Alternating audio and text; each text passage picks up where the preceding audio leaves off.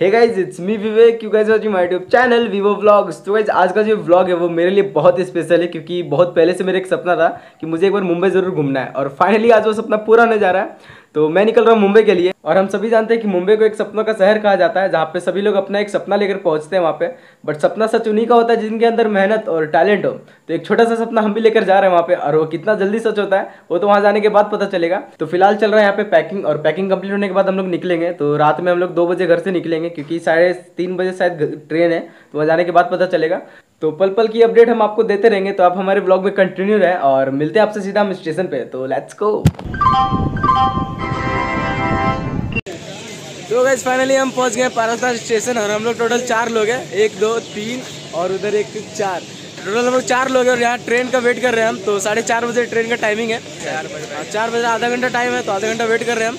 थोड़ी देर के बाद ट्रेन आएगा तो इसके बाद फिर कंटिन्यू करेंगे ब्लॉग तो गैस फाइनली हम लोग ट्रेन बैठ गए और सीट हमें मिल गया है तो हम लोग फिर यहाँ फ़िलहाल यहाँ पे बैठे हुए हैं।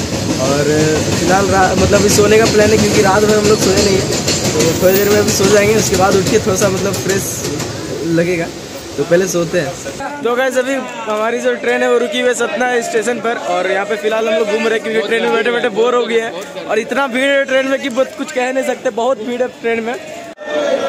तो गैस अभी से हम इंजॉय कर रहे हैं फ़ेमस वड़ा पाव और इसको खाते हैं इंजॉय करते हैं, फिर आगे निकलते हैं। तो अभी हमारी ट्रेन खुलने वाली है, तभी हम लोग ट्रेन में बैठते हैं, क्योंकि ट्रेन नहीं मिस होनी चाहिए। तो हैं ट्रेन में फिर आगे ब्लॉग कंटिन्यू करते हैं। तो गैस फाइनली हम लोग आ गए कटनी जंक्शन तो यहाँ पे अभी शाम का छः बज रहा है। सात बजने वाले हैं। हम लोग कटनी जंक्शन पे हैं और यहाँ से थोड़ी देर के बाद ट्रेन निकलने वाली है। जो थोड़ी देर बाद अंधेरा हो जाएगा और हम लोग रात भी पूरा रात ट्रेन में गुजार रहा है। बट समझ में नहीं आ रहा है इतना भीड़ है कि रात भर गुजारेंगे कैसे? मतलब भीड़ इतना है कि हम लोग को बैठ के ही रात में रात गुजारना पड़ेगा क्योंकि सोने का जगह नहीं है वहाँ पे क्योंकि इतना मतलब भीड़ ही आज। तो जैसा होगा देखा जाएगा और फ़िलहाल इंजॉय कर रहे हैं हम लोग सनसेट यहाँ पे स्टेशन पे। तो आप कुछ सिनेमेटिक चेक करें हमारा।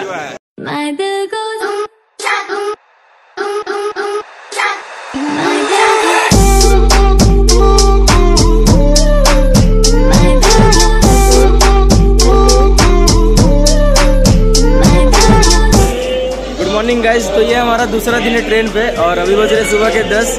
और हमने रात में मतलब ब्लॉग नहीं कर पाया क्योंकि बहुत भीड़ है ट्रेन में और अंधेरा भी था तो वीडियो क्वालिटी भी अच्छा नहीं आ रहा था।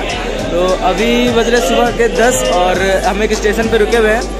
और हमारा जो स्टॉप है वो दो बजे तक मतलब एक तीस में हम लोग का टाइम बता रहा है सीएसटी स्टेशन तो देखते कब तक पहुँचते हैं, क्योंकि ट्रेन ऑटोमेटिक मतलब लेट चल रही है, एक घंटा लेट तो जाने के बाद पता चलेगा। तो चलते हैं अभी।